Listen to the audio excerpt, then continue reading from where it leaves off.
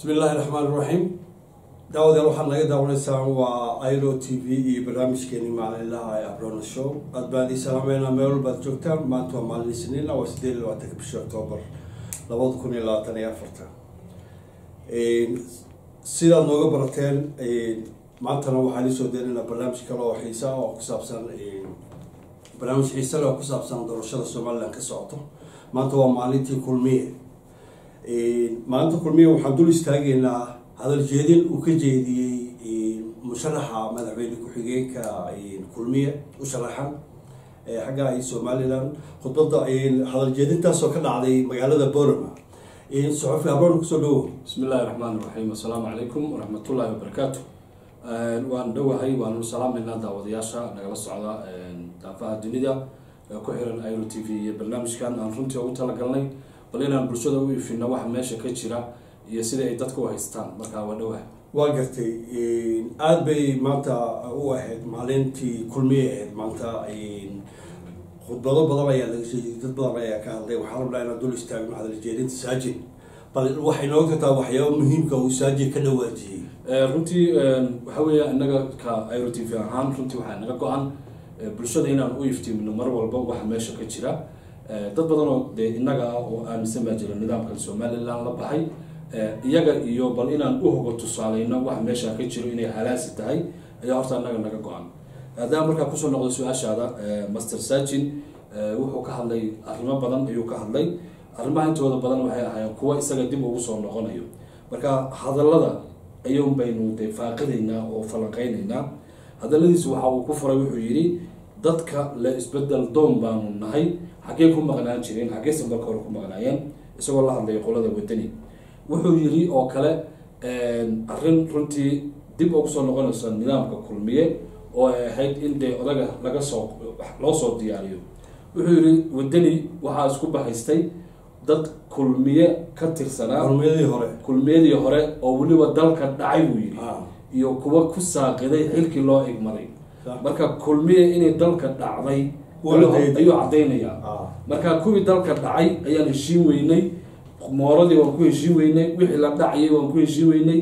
Dabadeedna afkii inta ka weynaaday carareen meeshaasay galeen. Annagaa ku hadnay marka. Marka taa waxaa caddaynaysaa in meeshan loo heshiiyey oo masaakiinta canshuurta laga qaadayo hooyooyinka iyo dadka masaakiinta murmaalka lacagtoodii la dhaco ayuu horta caddeeyey. Wuuna ku mahadsan yahay. Laba waxa uu ka hadlay wuxuu yidhi ninka la yidhaahdo cira ayuu markaa daba dhigtay oo eeg cambaynka ama ololuhu waxay ahayd inay dadka loo soo bandhigo waxqabad laakiin qolo walba shalay wadani markay joogeen kulmiya eedanayeen kuwana wadani bay eedeen marka ma ahan waxqabad iyo horumare kursi kala riixasho iyo rag iska dhicin baa lagu jiraa. Hadalkiisii waa hadallo badan ayay laakiin in yar yar baan ka soo qaadan doonaa. Wuxuu sheegay ciro waa uu ka soo horjeeday buu yihi in la heshiiskii mawga mawga waa uu ka soo horjeeday ilaa maalinta maalinka ana ka muusan hadal buu yihi markaa saajin wuxuu caddaynayaa inuu la dhacsan yahay in gobolka la xaraasho saajin iyo kulmiye iyo cidda meesha joogto iyagu waxay ku qanacsan yihiin in la xaraasho gobolka awdal iyo ummadda gadaburti dhulkooda. Marka wuxuu yihi cira maalina kama hadal. Markaa wuxuu ka wadaa nala nalama socdo. ma garatay.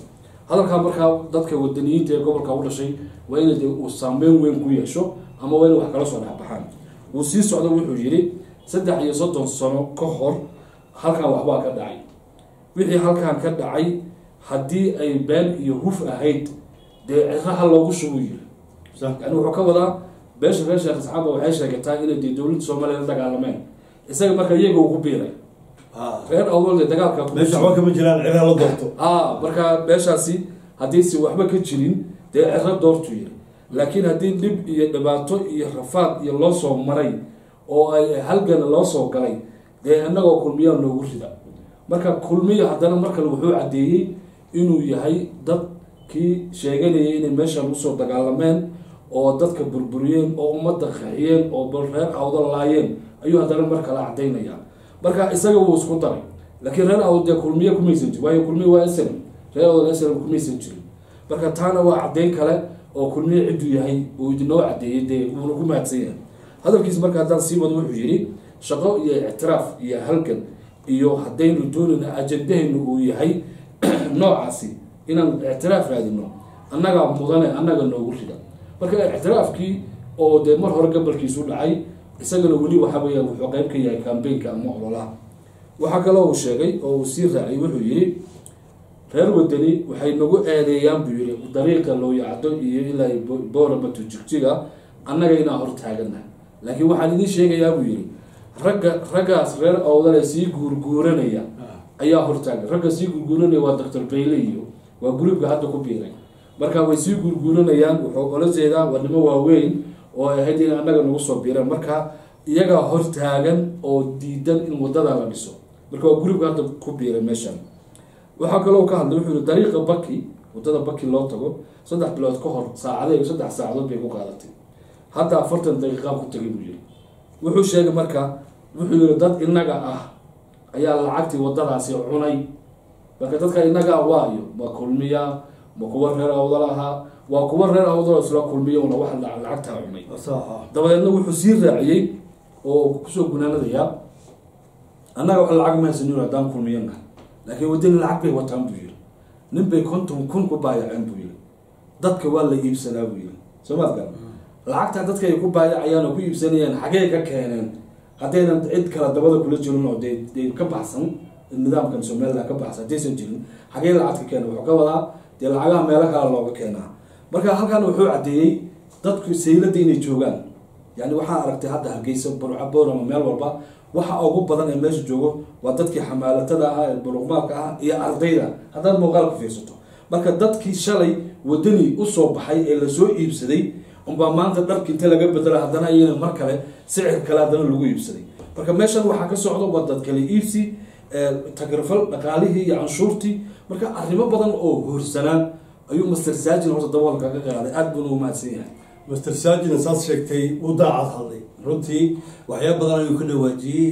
Muusa soo qoran runtii khudbadiisa inuu meesha ka hadlo. Laakiin uu daacad hadlo waxyaaba run uu sheegay kambeynka waa waxaana muhiima dadka reer awdal inay arrinta ogaadaan ku toosaan. Marka shalay iyo daraadii tii ka horreysayba fagaaraas waa la isku arkayay fagaarihii shalay wadani baa ka hadlay. Saajin maanta wuxuu lahaa bustii shalay caraad ku qariseen dadkaa faraha badan dharku baa laga bedela seela tahay soomamay waa sida runtii sida qaalibka ah anagu waan ogna wax gudaha ka socdo. Dhulku dadka waa dadkeenii burco iyo hargeysa iyo berbera iyo boorama dadka maalin walba soo baxa. Waa isla dad qura.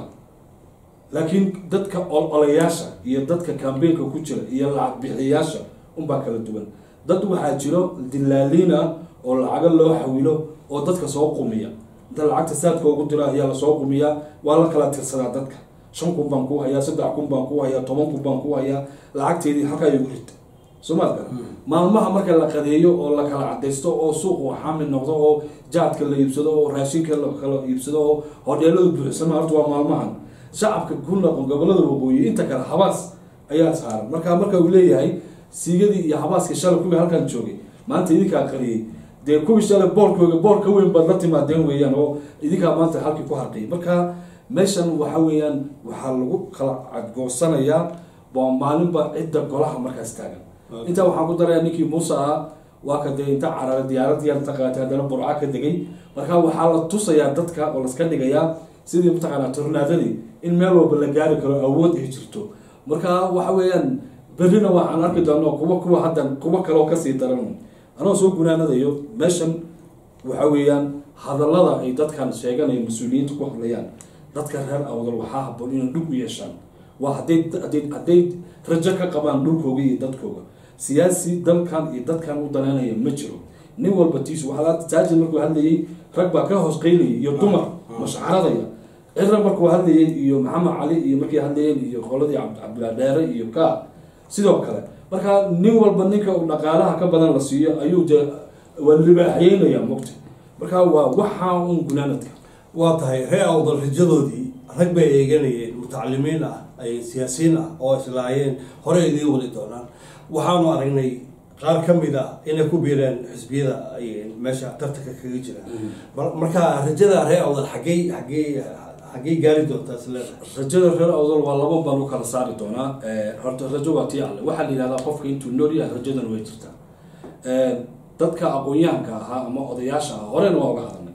Ee la filayay inay ummadan dhiiriga ka saaraan oo kala dabaashaan waayaa adag iyagaa qeyb waxay kamanta ka noqonayaan iyagoo weliba carcar qaba weliba dhaqaale haysta weliba caalamka yimid xigmad badan iyo waayo arimo badan leh.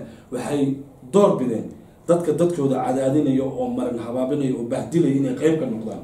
Marka nin odayaasha waaweyn iyo aqoon-yahanada waxa rajo ah oo laga qabo ma jirto. Qofka rajo ka sugayana waa qof aan habeen oo habeen jirin. Tan labaad rajadu waxay ku jirtaa da-yarta gobolka awdal iyo degmada gabiley ama gobolka waqooyi galbeed labada gobol dadka ku nool ayay rajada ku jirtaa. Ninka dhalinyarada ee aaminsan inay xisbiyana wax u soo wadaan waa nin qeyb ka ah kuwa dadkooga hagardaamaynayo waa nin la mid ah odayaasha soo diga rabtay ee waktiga iyo waayahooga inta soo dhammaysteen. Meesha ahayd inay aynamadooda iyo hablahooga u turaan oo ay wax u sheegaan oo ay waayo aragnimadooda ku biiriyaan ay muuse iyo wadani iyo kooxdaas la soo safanayaan. Dhalinyarada waxaa aaminsan waa kuwa aan iyagana habeen jirin. Marka waxaan qabaa wadankani awood buu u baahanyay ninka dhalinyarada ee aaminsan inuu dimuqraadiyad ama xisbi la doorto wax ku helayo waa nin aanan waxba soo wadin. Meeshan waxay u baahan tahay in loo kaco oo ninka dhalinyarada uu isweydiiyo canshuurta laga qaadayo halka la geeyo uu garanayaa baddiisa way xayiran tahay ninka saylac iyo lughayo iyo jooga xadka ee berbere oo shan boqol oo kilomitr alaabta uga soo degayso. Baddiisu lugaha uu kula jirayna le ma kama kaluumaysan kartid wax kalama soo degi kartid. Dee ninkaa dhalinyarada maaha inuu cid kala sugo. Sharciga waa inuu gacanta ku qaato.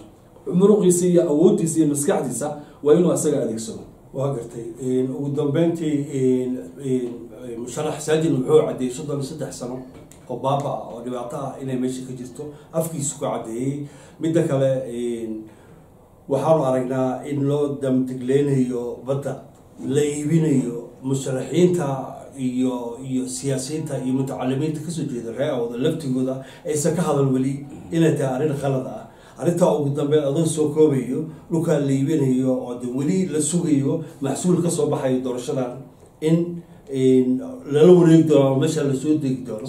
Arrintaa bal runtii waa nasiib darro ku habsatay ummadaasi siyaasiyiinta dadka sheegta ama xisbi mucaarad ha ku jiraan ama muxaafid ha sheegtaan ama kuwa hadda ku biiray. Cid inta si dhaba u joogsatay tiri waxaan waa qalad ma jiraan. Maxay marka ka dhigan tahay? Qeyb bay ka yihiin marka waxay isku bahaysteen in ummadan la dhexal wareejiyo. Dhexal wareejin ayaa gadabuusi ku socoto. Intii yarada hadhay ayaa la dhexal wareejinaya. Sida loo kala aqoon badan yahay loo kala karti badan yahay loo kala dhaqaalo badan yahayna ayaa dhexalka loo wareejinaya. Wayna halis weeyaan kuwa hadda socda oo sheeganaya aqoon-yahankay ku biiraya xisbiyada marka hadda waxaa hadlay oo addis standard jalala liyaado ay wareysatay nin leeda maxamed cumar oo marka hore arrimaha dibadda somalilan ahaan jiray oo xisbiga wadani mucaarad ka tirsan wuxuu sheegay inay walaac ka qabaan dhinaca nidaamka ciidanka ee etoobiya laakiin sida kale ay caadi tahay. Marka waxay dad badan qabaan xataa wadani hadduu soo baxo in dhulkan la iibin doono. Sababtoo ah etoobiya hadday sii jirto waxay ku qasban tahay cid kastoo soo baxdo inkastoo etoobiya dee kulmiye taageerayso. Waxay etoobiya ku qasban tahay cid kastoo meeshaan timaado inuu mowgani ay ku qasbaan. Soo maad garan. Marka dadka reer awdal unbaa badbaadin kara in dhulkooga la iibiyo laakiin siyaasi iyo aqoon-yahan iyo oday ma badbaadin karo. Marka waxay waxay caddeynaysaa de somaliland waxay caddeynaysaa dhulkan iyo xeebaa inay dheeri ku tahay meeshu ay rabaan in isdhaafiyaan dhulkooga lahayn. dadka hal abuurkan iska leh iyo culintan ee hawshaan wada dee deegaanka shaqo kuma leh. Waa nimankaas dee hargeysa iyo wixii ka shisheeyay degan marka haddii dhulkan la iibiyo isagu wuxuu haysa inuu maalma sii jiray laakiin ma ogo awdan haddee baxday inay soomaaliya o dhan soconayso waa tahay intaasoo ku soo gabagabeyneynaa barnaamijkeenii maanta oo aad nagala socoteen iro t v oo aad naga daawan kartaan iro t v dot com iyo social mediaha. Aniga iyo suxufi abrone intaan ku kulmeyno barnaamijkan barnaamij la mid a oo doorashadiina waa soo socotaa waran ka sheekeyn doona maalin walba. Aad baa idin salaameyna meel baad joogtaan